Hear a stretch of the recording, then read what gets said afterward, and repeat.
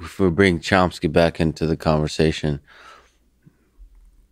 first of all, is it unfair to draw a line between mathematical cognition and language, linguistic cognition? I think that's a very interesting question. And I think um, it's one of the ones that I'm actually very interested in right now. Um, but I I think the answer is in important ways, is important to draw that line, but then to come back and look at it again and see uh, some of the subtleties and interesting aspects of the difference. Um, so, if we think about Chomsky himself, um, he uh, was born into an academic family. His father was a professor of rabbinical studies at a small rabbinical college in Philadelphia. Um, and he was deeply enculturated in, uh, you know, a culture of thought and reason, and brought to the effort to understand natural language this profound engagement with these formal systems. And, um, you know, I think that there was tremendous power in that, and that Chomsky had some amazing insights into the structure of natural language. But that and I'm going to use the word but there. The actual intuitive knowledge of these things only goes so far and does not go as far as it does in people like Chomsky himself. And this was something that was discovered in the PhD dissertation of Lila Gleitman, who was actually trained in the same linguistics department with Chomsky. Mm-hmm. So, what Lila discovered was that the intuitions that linguists had about even the meaning of a phrase, not just about its grammar, but about what they thought a phrase must mean, were very different from the intuitions of an ordinary person who wasn't a formally trained thinker. And well, it recently has become much more salient. I happen to have learned about this when I myself was a PhD student at the University of Pennsylvania, but um, I never knew how to put it together with all of my other thinking about these things. So, so I actually currently have the hypothesis that formally trained linguists and other formally trained um, academics, uh, whether it be linguistics, philosophy, cognitive science, computer science, machine learning, mathematics. Um, have a mode of engagement with experience that is intuitively, deeply structured to be more organized around uh, the systematicity uh, and um, ability to be conformant with the principles of a system than uh, than is actually true of the natural human mind without that immersion. That's fascinating. So the different fields and approaches with which you start to study the mind actually take you away from the natural operation of the mind. So it makes it very difficult for you to to, to be somebody who introspects. Yes. And you know, this is where um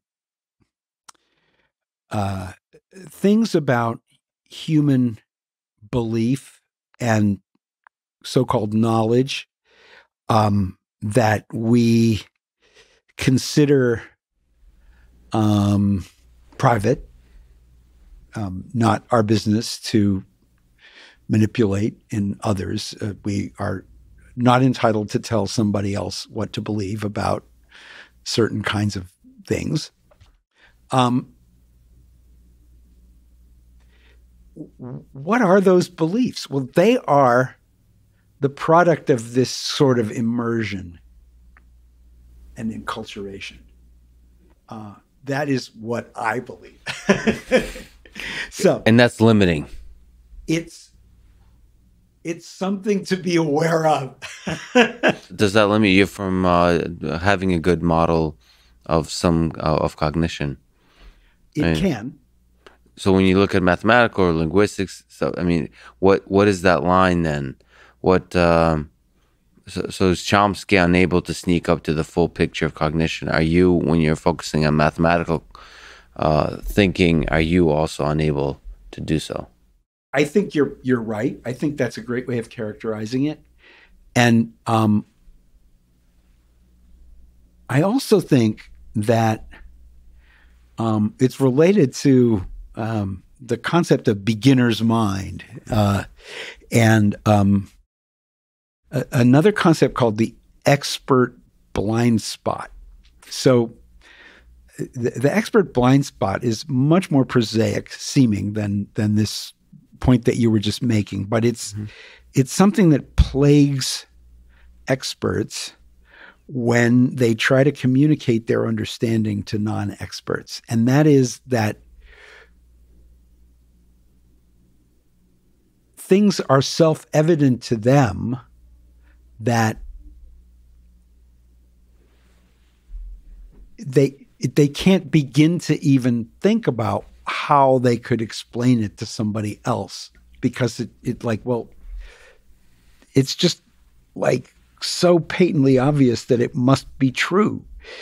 And um you know like um when Kronecker said God made the natural numbers, all else is the work of man, he was expressing that that intuition that um, somehow or other, you know, the basic fundamentals of discrete quantities being countable and enumerable and you know indefinite in number um, was was not something that had to be discovered. Um, hmm. But he was wrong. It turns out that uh, many cognitive scientists agreed with him for a time. There was a long period of time where there were, where um, you know, the natural numbers were considered to be a part of the innate endowment of you know core knowledge, or you know, to use the kind of phrases that uh, Spelke and, and Carey use to talk about what they believe are the innate primitives of the human mind, and um, they no longer believe that. They it's actually um, been more or less accepted by almost everyone that the natural numbers are actually a cultural construction. And it's it's so interesting to go back and sort of like study those few people who still exist who you know who don't have those systems. Mm-hmm. So so this is just an example to me, and where you know a certain mode of thinking about language itself, or a certain mode of thinking about geometry and those kinds of relations. So it becomes so second nature that you don't know what it is that you need to teach. Mm-hmm.